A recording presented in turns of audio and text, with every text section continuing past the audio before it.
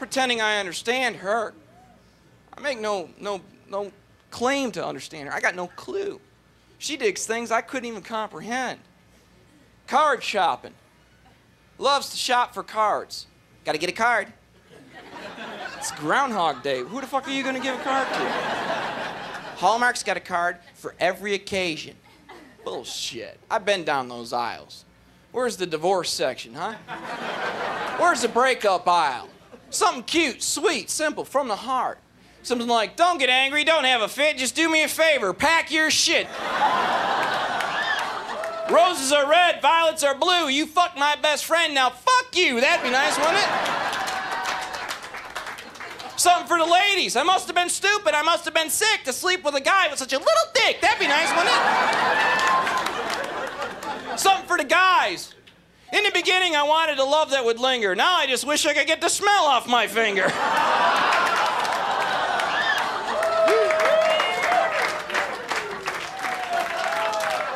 Oh, my mama is so proud of me.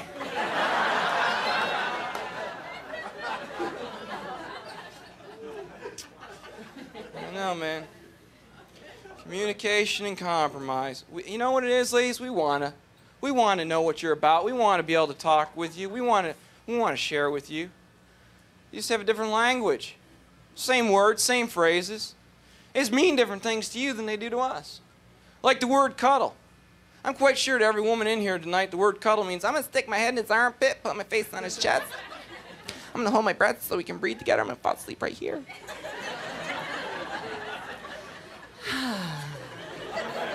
Don't mean that to us guys, does it? No. Means you're gonna lay on your back for the next eight to ten hours. Your arm's gonna fall asleep to the point you're not sure you have an arm anymore. If you gotta pee, you better be willing to chew that fucking arm off of your body.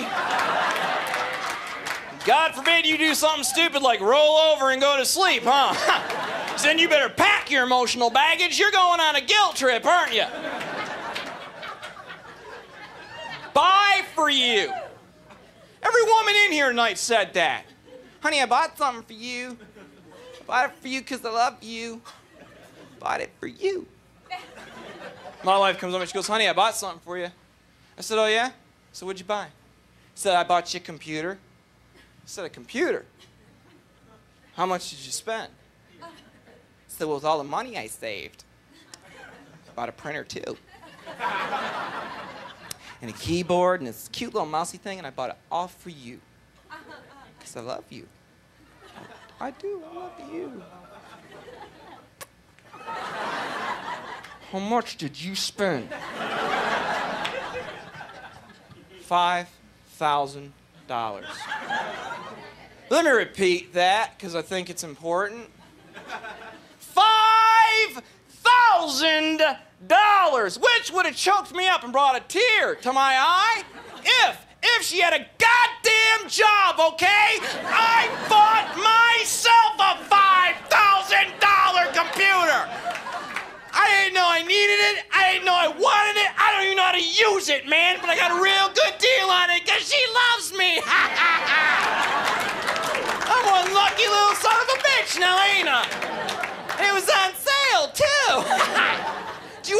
idea how much computer pornography I have to download to get $5,000 worth?